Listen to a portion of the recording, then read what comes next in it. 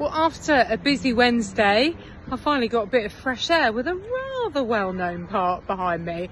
But right behind me here is the Treasury building and just there is the cut through uh, to Downing Street and uh, also um, where the Churchill war rooms are, exactly as they were left after the famous victory.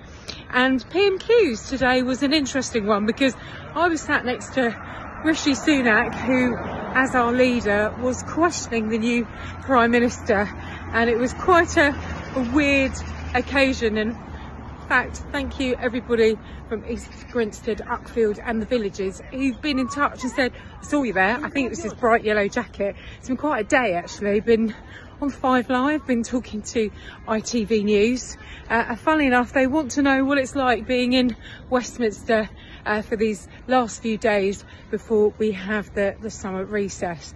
And there's been a lot going on. Of course, the King's speech today was a debate on education and opportunities, and that will matter to our area because obviously the private school VAT issue will have a real impact. And in fact, there are over three and a half thousand youngsters in our area, around 10 schools.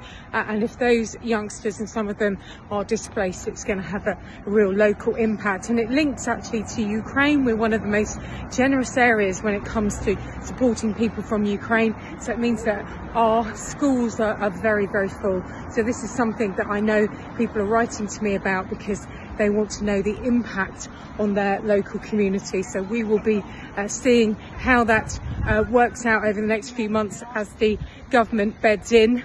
What an interesting uh, few days, as I say, and a few more to go next uh, week as well. And then summer recess means a chance to catch up, be local, and probably finally clear out my leaflets from my car.